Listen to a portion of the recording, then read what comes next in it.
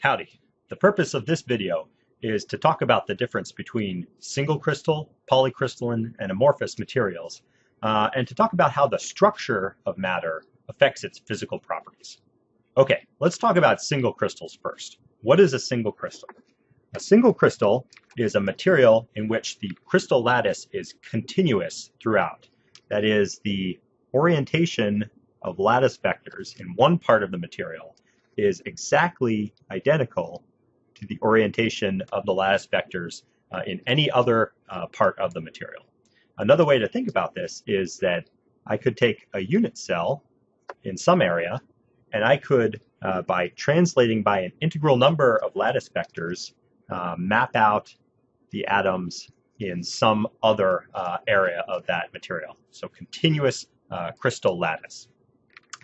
Um, Okay, so you might be thinking single crystals, they're kind of weird, they're an oddity, and we don't really deal with them very much. And that's not necessarily true. In fact, uh, just about every bit of computing technology that we deal with and carry around in our pockets in a cell phone, for example, uh, is built off of silicon. And so what people do is they take very large single crystals of silicon, uh, and that's called a boule. It's grown by a starting seed, and it gets larger and larger until it gets to some diameter. Um, but all of this again, is a single crystal of silicon. And then we take it and we dice it into uh, very, very thin wafers, uh, and we deposit things and we do photolithography on top of that. Uh, but the starting block for all of this computing technology, uh, for almost all of the devices that we carry around with us, is single crystal uh, silicon. So it's a very important thing to understand.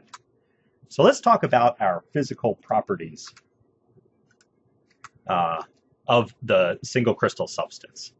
So maybe I want to talk about electrical transport. Maybe I want to talk about the elastic modulus of material. Uh, it, it doesn't necessarily matter. You know, the important thing is to think about uh, how those atoms are oriented in one direction uh, relative to another. So we talked about linear density before. Um, that's one good example. The linear density, um, so I'm looking at a simple cubic crystal here the linear density in the 100 direction is not the same as the linear density in, say, the 110 direction. Um, so the atoms are a little bit spaced further apart. Uh, the electronic orbitals uh, aren't overlapping as much as they are uh, in the 100 direction. And so it makes sense that the physical properties in these two directions are different. Uh, and what we say then is that they are anisotropic.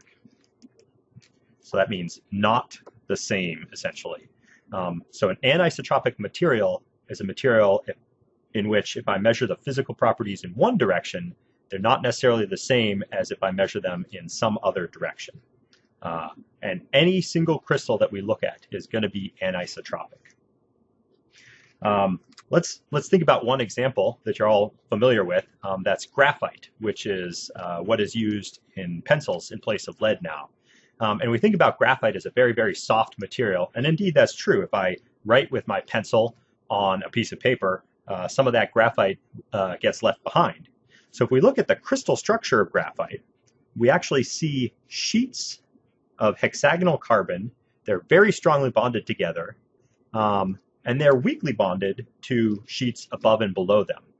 Uh, and so what that means is that the bonding strength in this direction is very, very weak. Uh, and when I write, I'm liable to flake off uh, little sheets of graphite, and that's why I leave behind a black line when I'm writing with a pencil. Uh, but it's important to note that the bonding in the plane is very, very strong. Um, one single sheet of graphite is what we refer, to as graphene, and the strength per weight of that material is stronger even than something like steel. So this is one of the strongest materials we know. So this is a great example of something that is uh, very anisotropic. The crystal structure is anisotropic, and that means that the physical properties are anisotropic. Um, one other point that's worth bringing up is that if I look at the properties in one direction, say the 1, 0, 0, and I look at the properties in another direction that's related by symmetry, say the 0, 1, 0 direction, if these two directions are symmetrically equivalent, then I would expect the properties to be identical. So that is, if I took a single crystal that happened to be cubic, uh, and I measured, say, its elastic modulus in the 1, 0, 0 direction, and I measured it again in the 0, 1, 0 direction, I know these two directions are symmetrically equivalent. Um, and that means that the properties are also going to be equivalent in those two uh, directions. So this is a very important uh, lesson to learn, and that is the symmetry of the properties of material is related to the symmetry of the crystal structure. Okay, we talked about single crystals some, but many, many of the materials that surround us uh, on and that we interact with on a daily basis are actually polycrystalline. And what that means is that they're made up of an assemblage of individual single crystals. So this is one grain, and this might be a single crystal that has some particular orientation. And then there's a neighboring grain next to it. And so this also has some orientation, but it's not necessarily uh, related to the grain next to it. It is definitely not uh, identical. And so I can keep doing this, um, and each grain is liable to have its own particular uh, orientation. Now, if I look at the boundary between two uh, grains, this is what we call a grain boundary.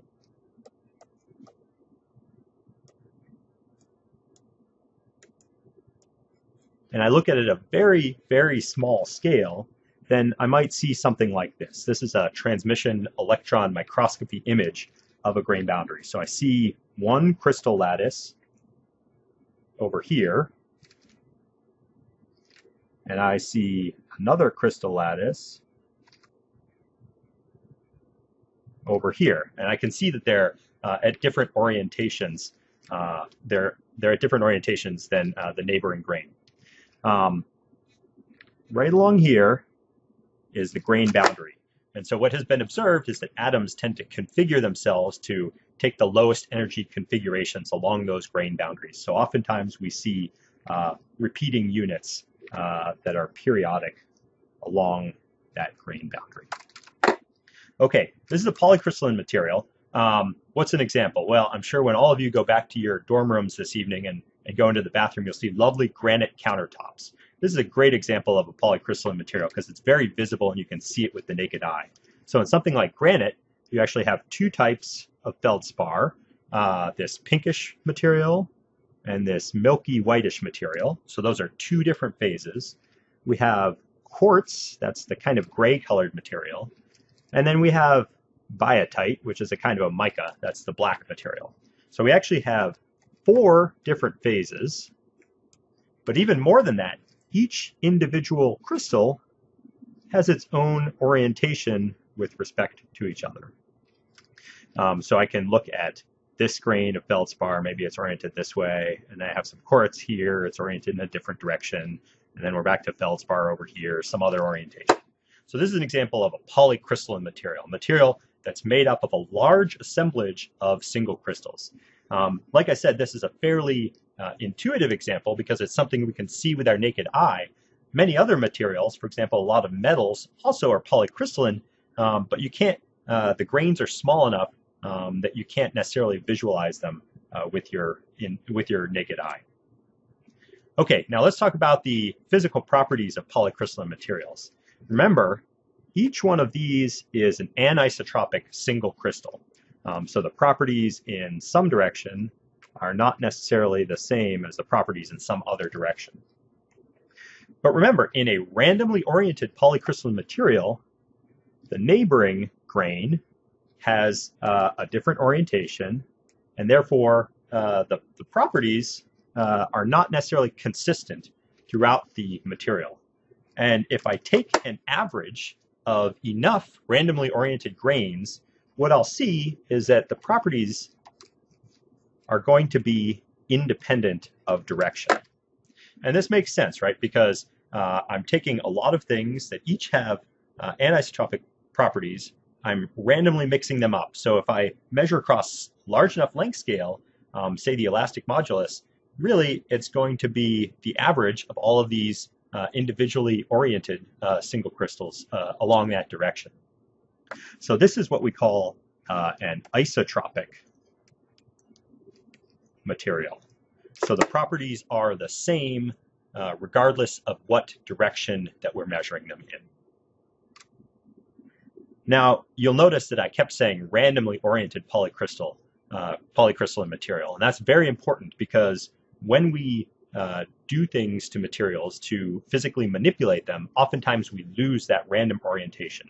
So for example, if I take a sheet of metal and I cold roll it, so I'm going from a larger cross section down to a thinner cross section, in that process, I'm going to orient the crystals. So whereas before um, I had a bunch of randomly oriented crystals, now they're kind of going to tend to align in some particular direction. So this is what we call preferred orientation or textured materials. Now, if I measure the properties, again, uh, in the, the part that's randomly oriented, they're going to be isotropic. It doesn't matter which direction I measure them, they're going to be constant and the same.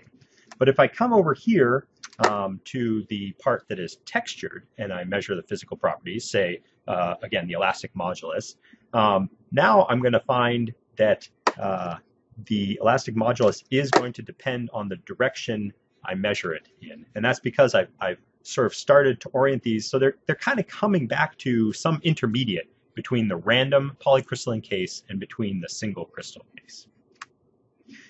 Now, there's one other uh, state of solid matter that we haven't talked about yet, and that is uh, amorphous material or glassy material. Now, uh, if you remember, in, in a crystalline material, um, the atoms have long range periodic order. So I can get to, um, I can describe the position of some uh, atom by an integral number of lattice vectors. So for example, this atom up here, the position, can be described as two, uh, the sum of two uh, A lattice vectors and one, two, three, four, B lattice vectors. So there's a long range order. Uh, in a amorphous material, I can't do that anymore. Um, so there's no long range order. Now again, um, this is kind of similar to the randomly oriented polycrystalline case because if I measure the physical properties uh, in any arbitrary direction here, um, and if I'm averaging over a long, uh, long enough length scale, then I'm going to uh, obtain uh, equivalent uh, properties regardless of the direction that I measure in. So amorphous materials are also isotropic.